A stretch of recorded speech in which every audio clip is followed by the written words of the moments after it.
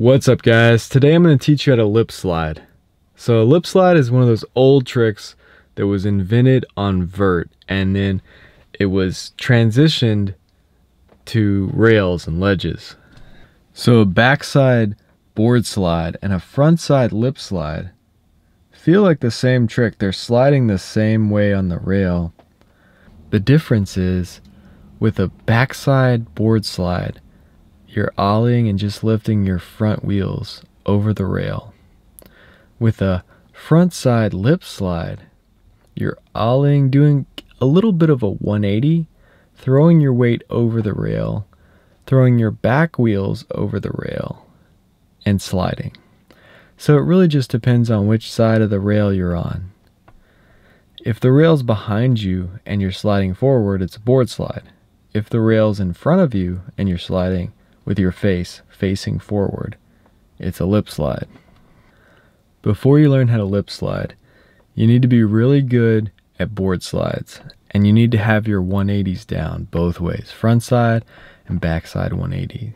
The reason you need to have those down is because to do a lip slide, you have to ollie, throw your weight over the rail, and do like a late 180. So before you learn this trick, get comfortable getting into the lip slide position on a ledge.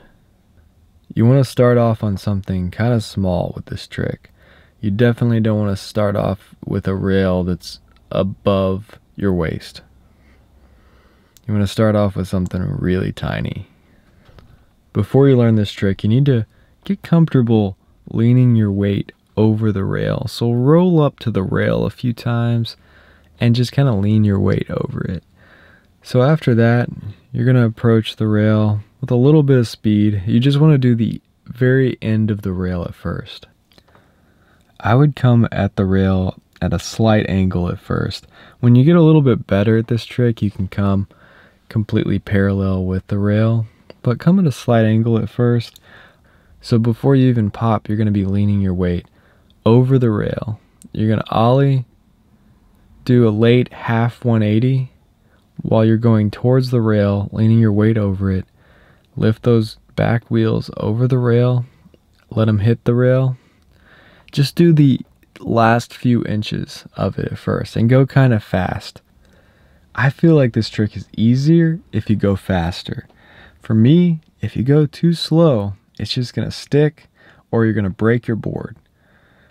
This is definitely a trick that breaks boards. It's easier if you have rails on the bottom of your board. It's going to make your board a little bit stronger and it's going to make the rail slide a little bit better because when you're ollieing up over the rail and coming straight down onto the rail, it's definitely really easy to break a board especially if you're going slow. Because if you're going slow, all of your weight and all of your momentum is going straight down instead of forward. So going faster is going to be better for this trick. Make sure you're really good at board slides before you even do this trick. So if you're really good at board slides, once you get into the trick, you know how to slide and you know how to come out of it. Coming out of this trick, all you really do is turn your shoulders. Your board's going to follow. You fall off the rail and roll away. If you're going to try this trick, I would get a strong board, maybe something with some carbon fiber in it, or a board with rails, because it's definitely a board breaker. So I really hope you guys enjoyed this video. If you like this kind of content, reviews, tutorials, and videos about what I'm learning as I grow as a skateboarder, then hit that subscribe button and thanks for watching.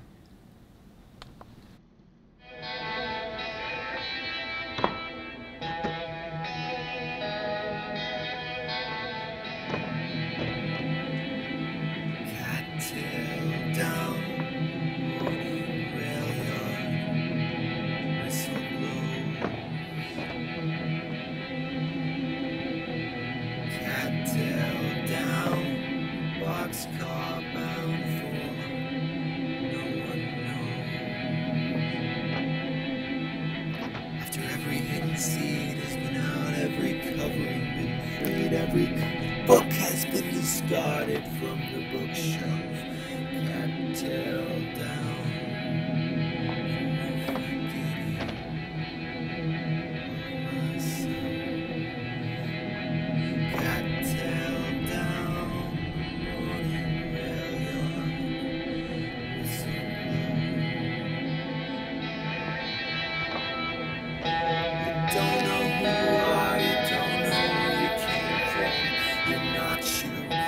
everyone else, you're everyone else, you're everyone else, you're everyone else, you're everyone else.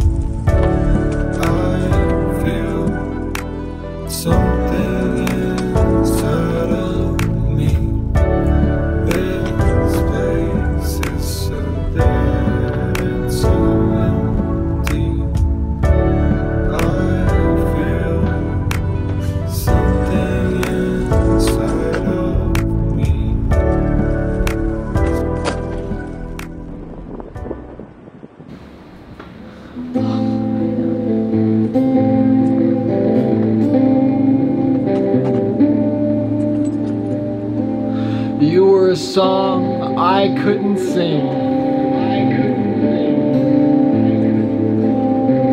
You were a story I couldn't tell.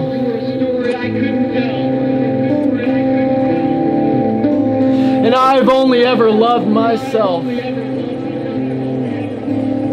But I loved myself so well.